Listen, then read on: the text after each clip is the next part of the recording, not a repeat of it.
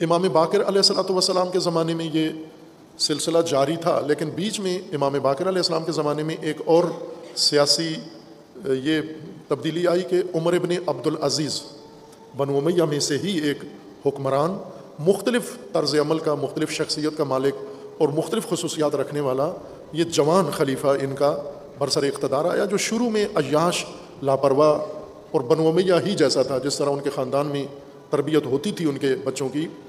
और मक्कार व शैतान और जफाकार होते थे बन उमैया शुरू से, ये भी ऐसा ही था। लेकिन बीच में अल्लाह ताला ने इसको कोई तोफ़ीक दी और ये ख़ुद मुतवजह हुआ।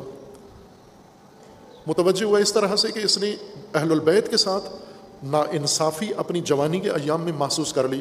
ख़ुद नकल भी करते हैं कि मैंने अपने बाप को देखा कि मेरा बाप जब बन उमैया की पॉलिसी के मुताबिक मदीना में जुमे का खुतबा देता था तो अहलबैत पर लान तान करता था अमीरमिन पर।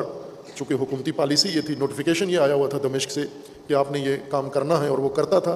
लेकिन वो बहुत फसी ख़तीब था।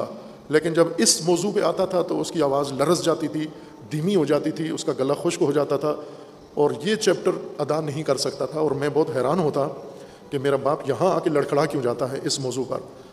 ये तो वो मौजू है जिस पर बाकी जज्बात में आते हैं और आवाज़ें बुलंद करते हैं, लेकिन मेरा बाप जो है वो धीमा पड़ जाता है। तो एक दिन मैंने बाप से पूछ ही लिया कि ये क्यों होता है आपके साथ? मैंने कई दफ़ा ये महसूस किया है कि जब इस मौजू पे आते हो, खुतबे के इस हिस्से पर तो आपकी आवाज़ लड़खड़ा जाती है। तो बाप ने मुझे अकेले में खलवत में कहा, हदीस बताई कि फ़लाँ रावी ने हदीस मैंने सुनी है कि उन्होंने अमीरमिन अली के मुतालिक रसूलुल्लाह का ये फरमान बयान किया है।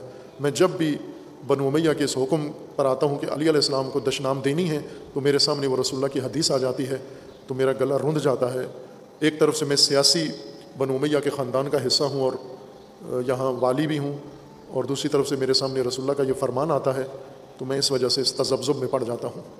ये पहली आगाही थी, एक चंगारी थी जो उमर इबन अब्दुल अज़ीज़ को लगी कि इसका मतलब यह है कि बनु उमैया रसूलुल्लाह के दीन के मुकाबले में अहलबैत को निशाना बना रहे हैं कि रसूलुल्लाह ने तो अहलबैत के बारे में कुछ और कहा।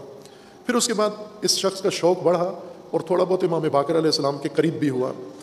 हुकूमत से पहले फिर हुकूमत के दौरान भी इसने रबता रखा। ये थोड़ा सा मौका इस शख्स की वजह से इन्होंने वो तमाम नोटिफिकेशन कैंसिल करा दिए कि कोई भी अहलबैत को दशनाम नहीं दे सकता। हुकूमती बाकायदा आर्डर जारी करके पूरी ममलिकत के अंदर कि किसी को हक नहीं बनता कि अहल बैत को बुरा कहे। ये बनु मैया के खलीफा ने कहा। और फिर और भी इसी तरह फदक, वो जायदाद वो वापस कर दी औलाद हज़रत ज़हरा को। उस वक्त जो लोग थे, उनको वापस कर दी कि ये इनका हक है, ये इनसे छीना गया है और ये इन्हीं को मिलना चाहिए। ये ख़ुद बनु मैया के खलीफा ने यह काम किया। बाहर कैफ, ये एक इस्तेसनाई मौरद था कि एक शख्सियत वही के ख़ानदान सितमगर है ालिम है, लेकिन होता है, सितमगर ख़ानदानों में भी कभी ऐसे अफराद निकल आते हैं और बाज़ पाकिज़ा ख़ानदानों में भी सितमगर लोग पैदा हो जाते हैं। ये फार्मूला नहीं है कि सितमगर में हमेशा सितम ही रहेगा, या एक आदिल ख़ानदान में हमेशा अदालत ही रहेगी। दोनों मिसालें कुरान ने भी पेश की हैं और तजर्बे में भी मौजूद हैं, तारीख़ में भी मौजूद हैं। इमाम बाकर सलाम के ज़माने में थोड़ी नरमी इस हद तक हुई कि हुकूमती उमर इबन अब्दुलज़ीज़ की कोशिशों से और अहकाम से वो घुटन थोड़ी कम हुई। और इमाम बाकर ने इस फुर्सत से इस्तफ़ादा करके और दीन की तशरी व तबीन शुरू की, लेकिन मैदान उस वक़्त हमवार हुआ जब दौर इमामत इमाम सदक़ शुरू हुआ।